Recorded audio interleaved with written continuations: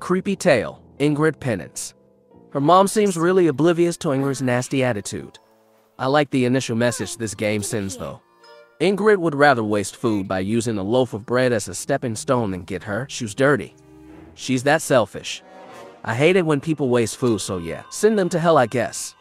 I love the dark vibe of this game. The art and animation are really well done.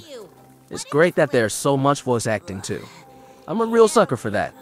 This is a neat adventure game that I give an 8 out of 10. Respect for their elders. Nicer kids don't end up down here.